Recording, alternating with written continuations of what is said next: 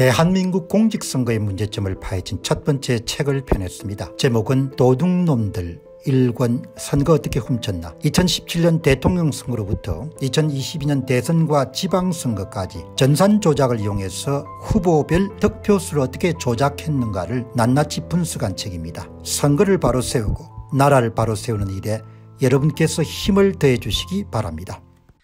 숫자를 제가 자주 이제 뭐 많은 분들이 그렇게 썩 익숙하거나 좋아하진 않지만 이 숫자를 보는 것이 정직하게 현상을 보는 것이기 때문에 여러분들이 뭐 이거는 뭐 과장하거나 이렇게 뭐 감정적이거나 이렇게 할 필요가 없지 않습니까 여러분 어제 말씀드렸지만 참 이번 선거에서 이 시골 촌북에서 기여한 것도 아주 큽니다. 확정 선거인수 많은 분들이 놓치는 부분인데 그러니까 이렇게 이제 이 자료를 보시는 분들이 이렇게 예리하게 보신 이 내용들이 하나하나 축적이 돼 가지고 선거 문제의 실체를 이해하는데 큰 힘이 되고 주춧돌이 되는 거죠. 선거관리위원회가 발표한 그런 선거 데이터를 들어가시게 되면 이 선거인 명부 확정 상황이 나옵니다. 선거인 명부 확정 상황 아주 중요한 여러분들 정보입니다. 예. 여러분들 이 확정 우리 표현의 확정이라는 것은 아주 강한 표현이죠. 예. 최종적으로 마무리된 것을 뜻합니다. 확정 여러분 그 밑에 보시게 되면은 그 밑에 보시게 되면은 투표구소 읍면동 투표구수 인구수 확정된 국내 선거인수 A 거소투표 선거인 명부 선상투표 선거인 명부 제외 선거인수 명부 총 선거인수. 야, 여러분 이거를 제가 시골 촌북계 부탁해 가지고 이걸 좀 보내달라 이렇게 해서 이제 받았는데 여러분 이거 보면은 확정 선거인 명부에 제외 국민투표도 포함이 되고 거소선상투표도 포함이 되는 겁니다. 명실상부한 총유권자 선거입니다. 청운 효자동에 확정된 국내 선거인 수에는 관내 청운 효자동에 거주지 주소를 둔 당일 투표자 관내 사전투표자 관내 사전투표자 거소투표자 선상투표자 제외국민투표자가 모두가 다 포함이 되는 겁니다. 제가 오늘 특별히 이 문제를 한 번 더 거론하는 것은 여러분들이 확실히 이해를 하셔야 될 것 같아요. 확정된 국내 선거인 수입니다. 확정된 국내 선거인 수에는 청운 효자동에 거주지를 둔 주소지를 둔 당일 투표자 관내 투표자 관내 투표자가 포함이 되고 그리고 거기에다 수가 얼마 되지 않는 거소 투표자 선상 투표자를 포함하게 되면 총 선거인 수가 나오는 겁니다. 확정된 국내 선거인 수라는 것은 총 선거인 수에서 거소 선상 국외 부재자를 뺀 겁니다. 그러니까 관내 창원 효자동에 주소지를 둔 투표자 가운데 당일 투표자 사전 투표자 관내 사전 투표자 관내 사전 투표자가 확정된 국내 선거인 수가 됩니다. 이 보시게 되면은 너무너무 중요하기 때문에 확정된 국내 선거인에는 국외 보조자 및 거소투표 선상투표가 포함됨 예, 그 포함 안 됩니다. 얘들이 이렇게 글을 써놨어. 예, 이게 이 보시게 되면은 그건 확정된 국내 선거인 수가 아니고 예, 제외국민 거소 선상을 포함하게 되면은 A에다가 B, B, B를 포함해서 예, 아, 아, 예, 확정된 국내 선거에다 제외국민 투표를 포함해서 A, B가 그러니까 확정된 국내 선거인 수에는 주소지를 둔 당일 투표자 관내 투표자 관내 투표자 거소 투표자 선상 투표자를 합한 것 그래서 확정된 국내 선거인 수고 거기다 제외 국민투표를 합한 것이 총 선거인 수인 겁니다. 확정된 국내 선거인 수에는 제외 국민투표만 제외한 주소지의 모든 사람이 다 들어가는 겁니다. 총 가장 큰 겁니다. 그래서 이게 확정된 국내 선거인 수 예, 여기 예, 제외 국민은 안 들어갑니다. 제외 국민. 예, 제외 국민은 안 들어갑니다. 제외 국민을 뺀 당일 관내사전 관내사전 거소선상 전부가 포함된 것이 확정된 국내 선거인 수입니다. 그럼 우리가 자주 보는 개표 결과 은면동 투표자 수는 뭐냐 예, 그거는 어제 말씀드렸다시피 관내 사전 투표자 수와 선거일 투표 당일 투표 이름들 여기 이겁니다. 이게 개표 결과 선거인 수 개표 결과 선거인 수 관내 사전 투표 선거인 수에다가 선거인 투표 선거인 수를 합친 겁니다. 절대 개표 결과 선거인 수는 예, 이게 선거인 수죠. 개표 결과 선거인 수는 절대로 확정된 국내 선거인 수를 넘어설 수가 없는 겁니다. 확정된 국내 선거인 수가 가장 큰 집단인 겁니다. 이런 산수를 여러분이 보시기 바랍니다. 이게 어제 이 보시기 바랍니다. 이게 예? 이게 비례투표자 수 지역투표자 수 여러분들 이, 이 여러분 이 보시기 바랍니다. 확정 명부에는 1340명이 등록이 되어 있는데 개표 결과 선거인 수는 13,246명이 있는 겁니다. 개표 결과가 확정 명부상 선거인 수보다 더 크는 겁니다. 죽었다 깨어나도 이런 일이 발생하면 안 되는 겁니다. 그냥 넘어갈 수 있는 일이 아니고 어마어마하게 중요한 일입니다. 확정 선거인 수보다도 개표 결과 선거인 수가 크면 그거는 일어날 수 없는 일인 겁니다. 부산 남구 용호 제3동에서 개표 결과 선거인 수가 2906명이 더 많은 겁니다. 개표 결과 선거인 수가 확정 명부 선거인보다 13,246명 개표 결과 선거인 수 확정 명부 선거인 수 1340명 2906명이 많은 겁니다. 선관위가 해명할 수가 없을 겁니다. 선거 이전에 확정된 선거인 수, 선거인 명부보다도 개표 결과 선거인 수가 많은 게 나온 겁니다.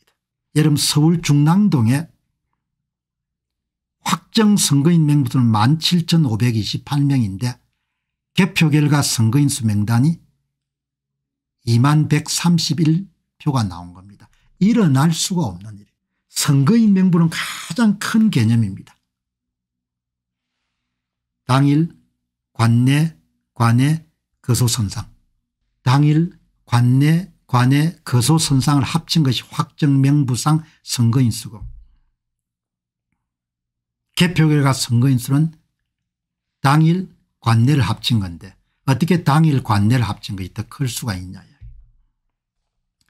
관내 사전투표 수가 마이너스가 나온 값이라는 겁니다. 이만큼 마이너스가 나왔다는 겁니다. 관내 사전투표자 수가. 투표자 수가 마이너스가 어떻게 나옵니까 이런 짓들을 한 겁니다.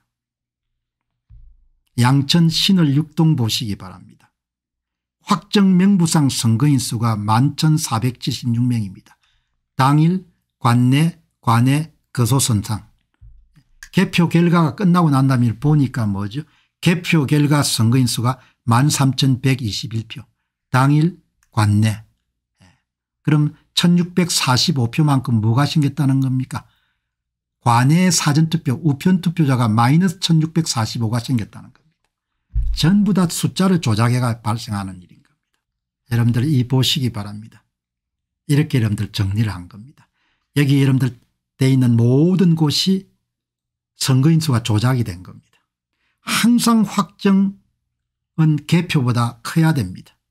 확정은 당일 관내 관내 거소선상을 포함하고 개표는 당일 관내만 포함하기 때문에 예. 이게 여러분들 개표 결과지 않습니까 예. 합은 관내 당일만 합친 것이고 여기 확정은 뭡니까 당일 관내 관내 거소선상을 봅니다. 그래서 확정된 국내 선거인수라고 부르는 겁니다. 제외 국민만 빼고 모든 게 다 포함된. 무조건 확정된 국내 선거인 수가 가장 큰 겁니다. 그런데 어떻게 개표 결과 읍면동 선거인 수와 더 큰 일들이 이렇게 많은 지역에서 발생한 겁니다. 기가 찬 일이지 않습니까 왜 그럼 이렇게 발생했냐 선거인 수를 조작을 한 겁니다. 선거인 수를. 선거인 수를 부풀렸기 때문에 개표 결과 선거인 수가 확정 명부상 국내 선거인 수가 크고 관내 사전투표자 수가 마이너스가 나온 겁니다. 이게 이러면 2906 2603 마이너스가 뭔고 하니까 관내 투표자 수 관, 관외 선거인 수가 마이너스가 다 나온 겁니다. 야, 여러분 이 보통 문제가 아닙니다. 여러분 제가 오늘 뭐 이렇게 이런저런 주문하시는 분도 계시지만 제가 사실 뭐 5개 집회나 이렇게 할 시간이 없습니다. 이 방송을 하는데 여러분들 아침에 일찍 일어나 가지고 여러분 방송 시간까지 최고로 여러분들 노력을 해야 이 방송 콘텐츠를 준비해 가지고 하루에 2시간 3시간 이렇게 여러분들 방송을 내보낼 수 있는 겁니다. 예. 여러분 이 보시게 되면은 이런 지적인 노력들이 계속 이루어져서 모든 실체가 까발려지게 된 겁니다. 한국 사회 전반적인 분위기는 이런 지적인 노력을 이렇게 굉장히 경시하기 때문에 눈에 보이는 그런 옥의 지표나 이런 부분을 지나치게 이런 강조하기 때문에 이런 것이 중요하게 생각 안 하신 분들이 많으신데 이런 노력들이 있어야 이런 밝힐 수가 있지 않습니까 이런 노력들이 없으면 밝혀질 수가 없는 거죠. 여러분들 어마어마한 겁니다. 이렇게 간단하게 이야기 드렸지만 이 보시기 바랍니다. 개표 결과 선거인수가 확정된 국내 선거인수가 크다는 이야기는 관내 사전투표 선거인수가 마이너스가 발생한다는. 그건 일어날 수가 없는 겁니다. 이렇게 여러분들 정리정돈이 될 수가 있는 거죠. 예. 이 보시게 되면은 이게 한두 군데가 아닙니다. 예. 이게 보시게 되면 이 전남 순천 풍덕동 예. 비례대표의 여러분들 여기 비례대표하고 지역구가 일치해야 될 겁니다. 대부분은. 이 개표 결과 선거인 수가 7251명인데 어떻게 여러분들 확정 명부는 6346명 밖에 없는 겁니다. 개표 결과 선거인 수가 확정 명부상 선거인 수보다 905명이 많은 겁니다. 그 어떻게 해석하겠습니까 경북 경산 중앙동은 개표 결과 선거인 수가 6477명인데 확정 명부상 국내 선거인 수가 5581인 겁니다. 이 정확한 표현은 확정 명부상 국내 선거인 수라 정확하게 써야 될 것 같아요. 예. 제외 국민투표만 제외 한 거니까. 그럼 여기서 나오는 896 마이너스라는 것은 무슨 뜻입니까 예. 관내 사전투표 선거인 수가 마이너스 896명이란 겁니다. 그건 일어날 수가 없지 않습니까 관내 사전투표 선거인 수가 마이너스 896명이란 겁니다. 한국 참 큰일 났습니다. 이거 정말 제가 볼 때는 참 이렇게 해가지고 어떻게 앞으로 살지 이 보시기 바랍니다. 맨 마지막에 강원 춘천 신동면 보시기 바랍니다. 확정 명부상 선거인 명부에는 2373명이 등재가 돼 있는데 이게 관내 관내 당일 거소선상을 합친 겁니다. 근데 개표 결과는 3043명이 나옵니다. 관내 당일입니다. 그럼 670명만큼의 관내 투표 선거인 수가 나왔다는 이야기입니다. 이렇게 여러분들 나온 거죠. 그러니까 이렇게 되면은 참 이 보시게 되면 충북 청주 청원 보시기 바랍니다. 확정 명부는 7386명인데 개표 결과 선거인 수가 8050명이 된 겁니다. 관내 사전투표 선거인 수가 664명이 이런 부풀려진 겁니다. 전국의 거의 전부의 여름 언면동에서 확정 명부상 선거인 수보다도 개표 결과 선거인 수가 다 부풀려진 겁니다. 그러니까 이게 참 보통 심각한 문제가 아닌 거죠. 그래서 이런 어제 이야기 드렸다시피 이런 게 나오는 겁니다. 명부상은 만 340명인 데 그다음에 이게 이제 확정 국내 선거인 수가 만 340명인데 개표 결과 선거인 수가 만 3,246명으로 28%가 늘어난 겁니다. 어마어마한 거죠. 그래서 여러분들 엊그제 말씀드렸던 이런 내용이 나오는 겁니다. 확정된 국내 선거인 수가 17,590명인데 529명인데 개표 결과 선거인 수가 2만 131명이 나오는 겁니다. 그럼 이 차이만큼이 뭐냐면 마이너스 우편 투표 선거인 수가 나오는 겁니다. 말이 안 되는 이야기입니다. 여러분들 이게 참 보통 심각한 일이 아니네요. 예. 이게 보통 일이 아니고 참이 예. 이렇게 이제 치밀하게 이렇게 들어가게 되면은 모든 걸 다 찾아낼 수가 있는 거죠. 2022년 지방선거에서 일어난 일을 낱낱이 밝힌 도둑놈들 5권 2022년 지방선거 어떻게 훔쳤나가 출간되었습니다. 이미 발간된 도둑놈들 1권 선거 어떻게 훔쳤나 2권 2022년 대선 어떻게 훔쳤나 3권 2022년 대선 무슨 짓을 했나 4권 4.15 총선 어떻게 훔쳤나에 이어서 다섯 번째 발간된 책입니다. 여러분께서 구매해 주시고 주변에 널리 알려주셔서 선거 공정성 회복을 위해 전국민 필독서가 될 수 있도록 힘을 대주시기 바랍니다. 감사합니다.